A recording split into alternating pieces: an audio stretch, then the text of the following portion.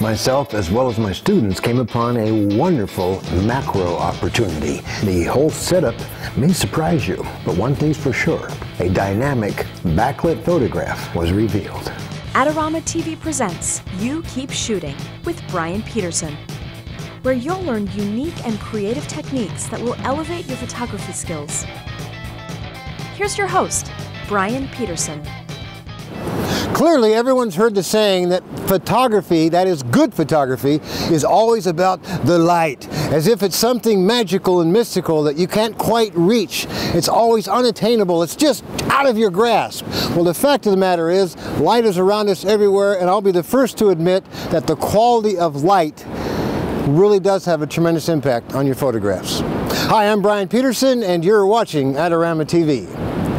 Well, I find myself here today in beautiful Oregon along the Oregon coast near the town of Newport. Along with my students, we're all having a fantastic time of shooting some wonderful sand patterns earlier down here at low tide along the shoreline. And now, we on our way back to the car, I found a feather which we now have appropriately mounted, as you can see here, on top of a head of a tripod.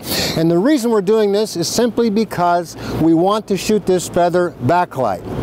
As you can see behind the group here, take a look, you can see now the sun, the blue sky, as well as a large swath of hillside that's not in the sunlight.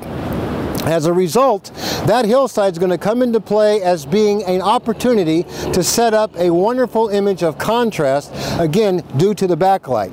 Notice the backlight on the feather that you see right here. We've got our 100 millimeter macro lenses on because the feather is relatively straight. We can get away with apertures of f11 or 16 because of the parallel subject to the film plane of the camera. It's not curving away or out from that kind of thing like petals of a flower, for example. It's pretty well flush. Therefore, F11 against the backlight, take a meter reading off of the sky to the right or to the left of that sun itself, gives us a shutter speed of a 500th of a second.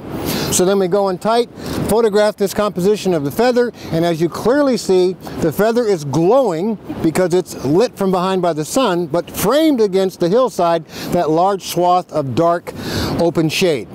That's how you set up this wonderful image of backlighting against black backgrounds.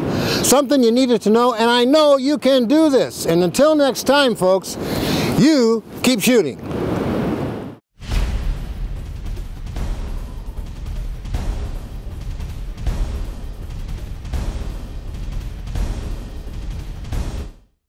For all the latest photography, video, and computer gear, visit Adorama.com. Place your order by 8 p.m. and it ships the same day. Plus, next time you're in New York City, be sure to visit our store located on 18th Street between 5th and 6th Avenue.